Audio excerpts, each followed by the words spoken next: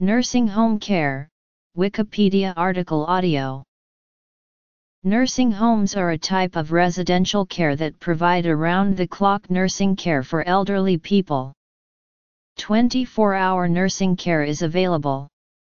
Nursing homes will provide short-term rehabilitative stays following a surgery, illness, or injury which may require physical therapy, occupational therapy or speech-language therapy. Nursing homes offer other services such as planned activities and daily housekeeping services. Nursing homes may also be referred to as convalescent care, skilled nursing or a long-term facility. Nursing homes may offer memory care services or have a separate area specified for memory care.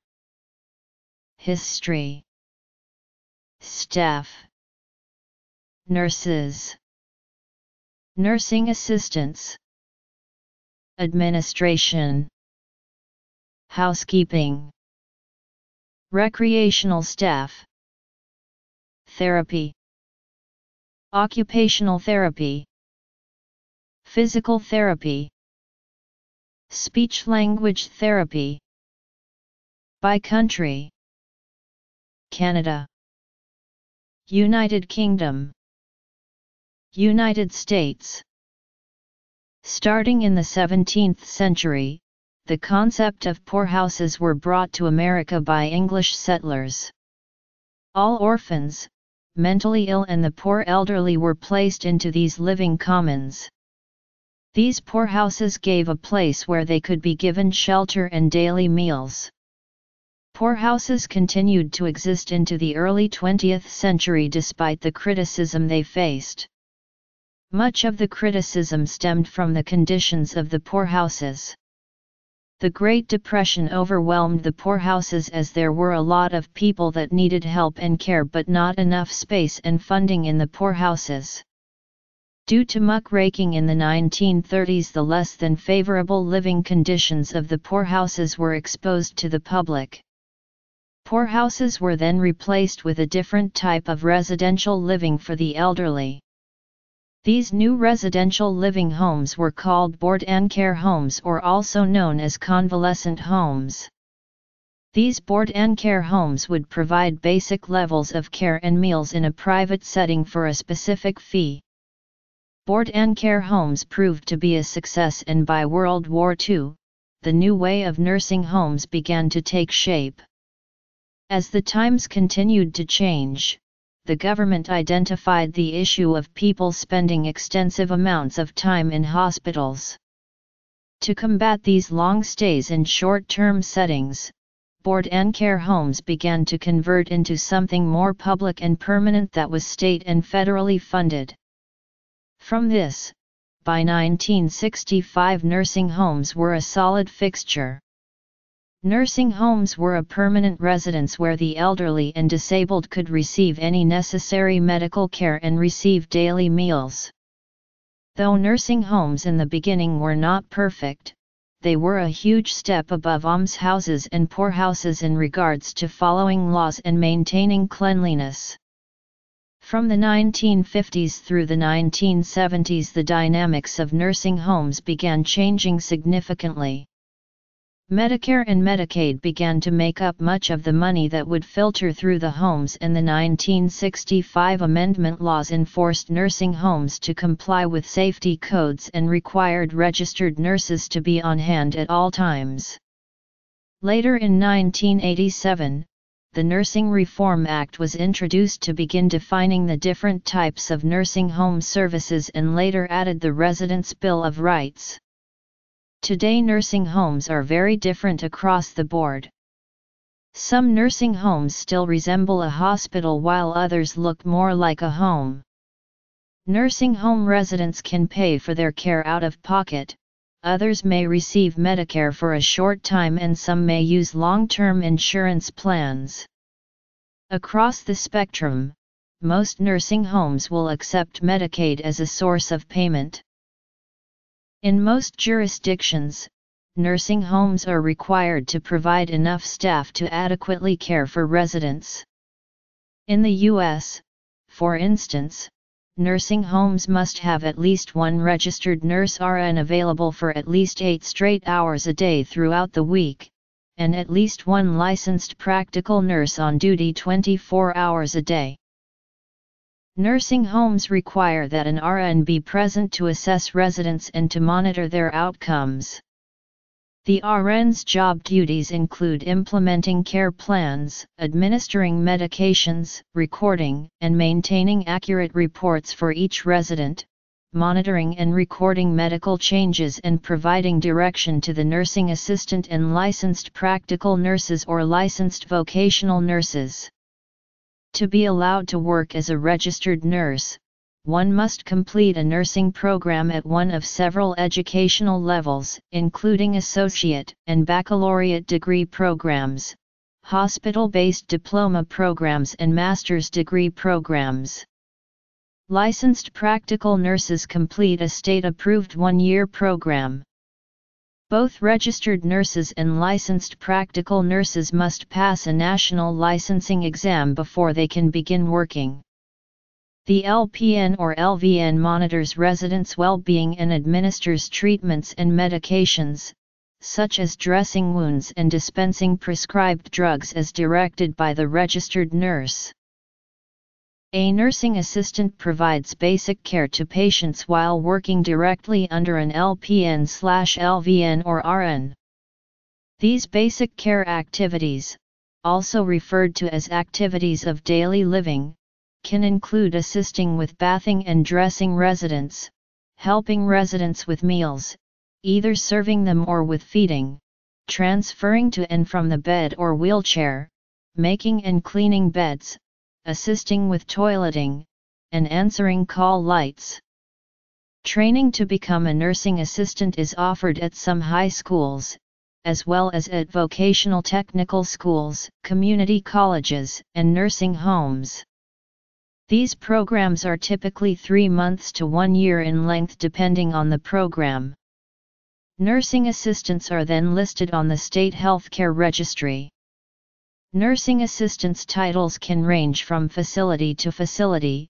The job titles include certified nursing assistants, nursing aides, caregivers, patient care associates, and patient care techs.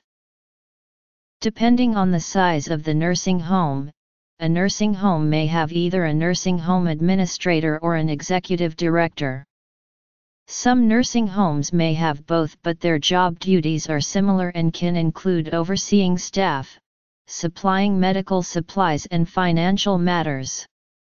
The nursing home administrator's slash executive director's career requires at least a bachelor's degree and some advanced positions may require a master's degree. There are certain classes that are commonly taken in this path of study, these classes include nursing home administrative practices, aging and long-term care, gerontology and aging, and health behavior. You may also find human resources employees in a nursing home. This job requires at least a bachelor's degree and usually preferred related work experience. These employees are in charge of all aspects of hiring new employees. Human resources job duties vary but can also include coordinating payroll, organizing orientation programs for new employees, interviewing, disciplinary actions, and ensuring compliance with federal and state laws. Nursing homes are usually licensed and heavily regulated under governing legislation. Compliance with the federal and state legislatures are reviewed regularly for adherence to strict standards of building codes, care plans, behavior and altercations between residents, nutrition and dietary services, medical services, nursing and personal care, religious and spiritual practices, pets, and recreational programs. Housekeepers are an important part of upkeeping nursing homes.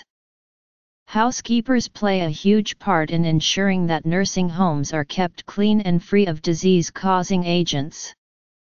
Housekeepers have a long list of duties which include cleaning floors, changing linens, disinfecting bathrooms, changing towels, washing clothes, emptying garbage cans, sanitizing rooms, replenishing supplies, dusting and polishing furniture, vacuuming, and keeping windows and woodwork clean.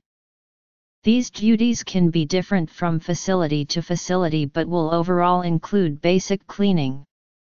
Housekeeping does not require any licensure or schooling, but some housekeeping jobs may prefer prior job experience. Recreational staff usually include an activity director and possibly activity assistants depending on the size of the nursing home. The activity director job requires an associate degree or a bachelor's degree and allows for further certifications through the National Council for Therapeutic Recreation. Activities are planned that aim to meet each resident's emotional, intellectual, physical, social, spiritual, and vocational needs. The transition from being independent to having to depend on others and be away from home is oftentimes very difficult, which is why activities are important to combat depression and anxiety. Some of the different activities that may be offered include hosting birthday parties, celebrating holidays, book clubs, musical events, outdoor activities, discussion and social groups, exercise, arts and crafts, pet therapy, religious services, and community outings. Volunteer involvement is also an important part of nursing home activities given that volunteers can act as a link between the nursing home and the outside community. One of the many services offered in a nursing home is occupational therapy. Occupational therapy may be necessary following an injury or illness in order to regain skills and to receive support during any physical or cognitive changes.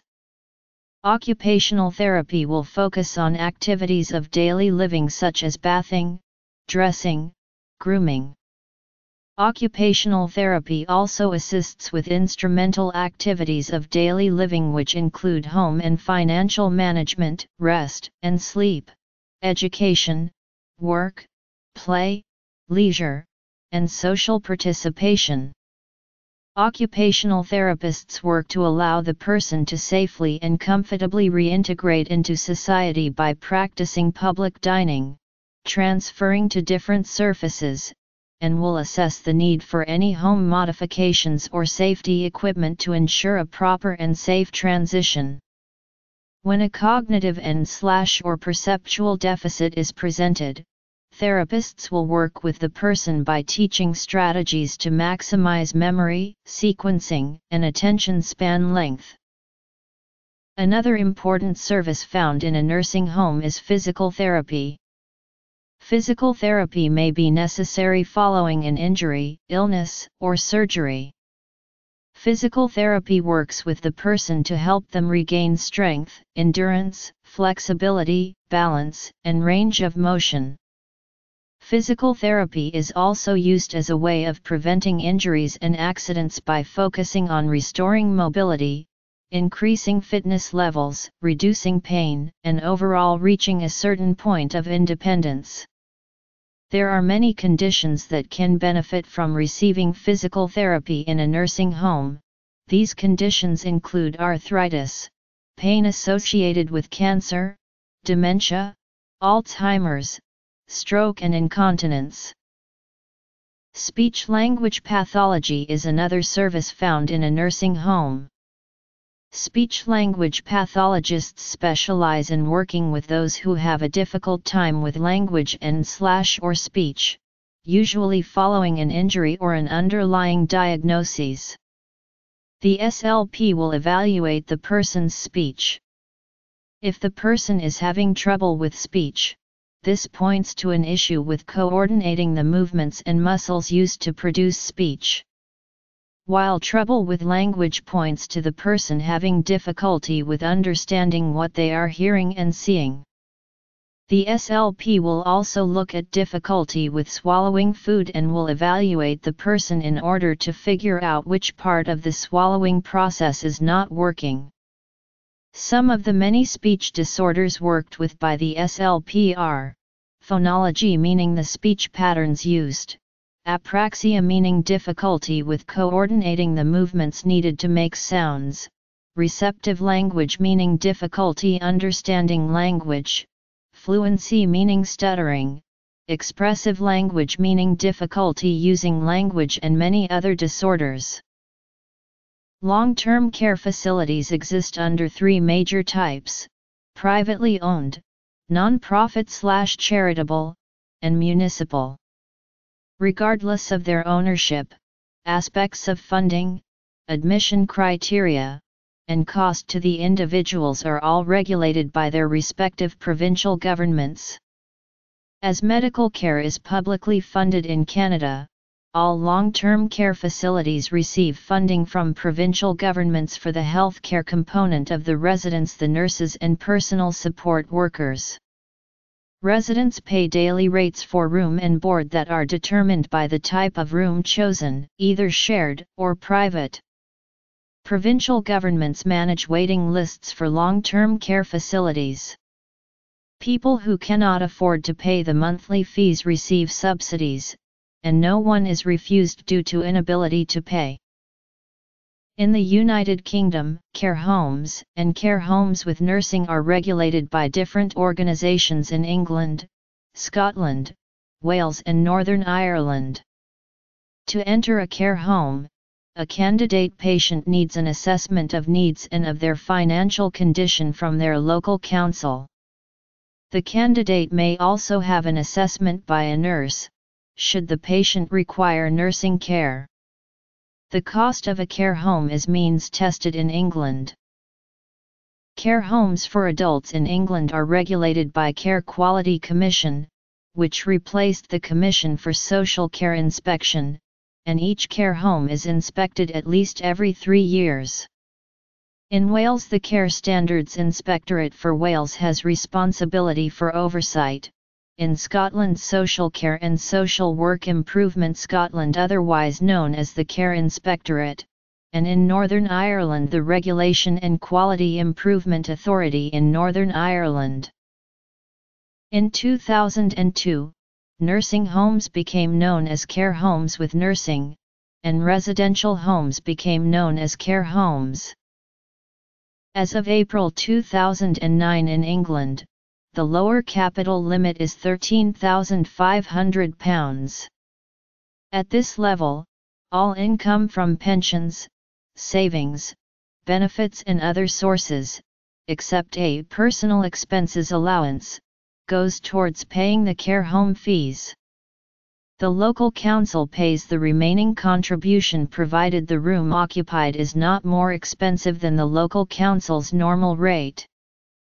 The NHS has full responsibility for funding the whole placement if the resident is in a care home with nursing that meets the criteria for NHS continuing health care. This is identified by a multidisciplinary assessment process. In May 2010, the coalition government announced the formation of an independent commission on the funding of long-term care, which was due to report within a 12-month time frame on the financing of care for an aging population. It delivered its recommendations on Monday, July 4, 2011. The Care Quality Commission have themselves implemented a re-registration process, completed in October 2010, which will result in a new form of regulation being outlined in April 2011. In the United States, there are three main types of nursing facilities. An intermediate care facility is a health care facility for individuals who are disabled, elderly, or non-acutely ill, usually providing less intensive care than that offered at a hospital or skilled nursing facility. Typically an ICF is privately paid by the individual or by the individual's family. An individual's private health insurance and slash or a third-party service like a hospice company may cover the cost. Board and care homes are special facilities designed to provide those who require assisted living services both living quarters and proper care. Often referred to as residential care homes, these facilities can either be located in a small residential home or a large modern facility. In fact, a large majority of board and care homes are designed to room less than six people. Board and care homes are typically staffed by licensed professionals, including nurses, doctors and other medical professionals. These facilities are highly regulated in order to ensure that the best possible care is being provided for the residents. Board and care homes offer residents 24-hour assistance, making them a highly popular choice for those in need of regular assistance. Assisted living residences or assisted living facilities are housing facilities for people with disabilities. These facilities provide supervision or assistance with activities of daily living. ALFs are an elder care alternative on the continuum of care for people, for whom independent living is not appropriate but who do not need the 24 hour medical care provided by a nursing home and are too young to live in a retirement home. Assisted living is a philosophy of care and services promoting independence and dignity.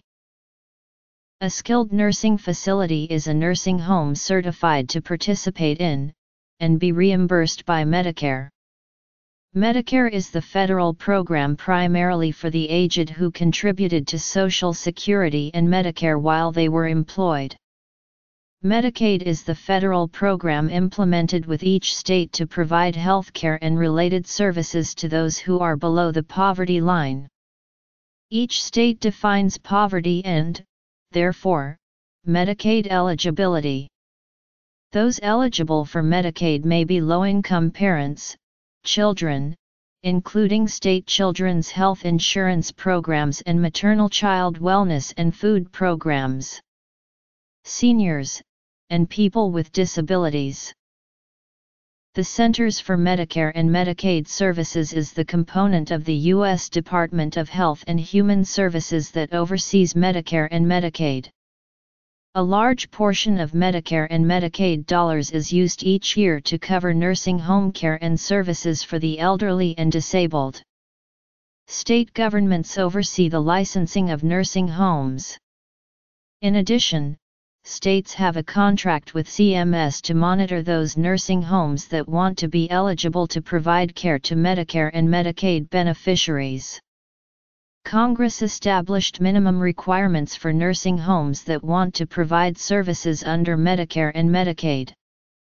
These requirements are broadly outlined in the Social Security Act, which also entrusts the Secretary of Health and Human Services with the responsibility of monitoring and enforcing these requirements.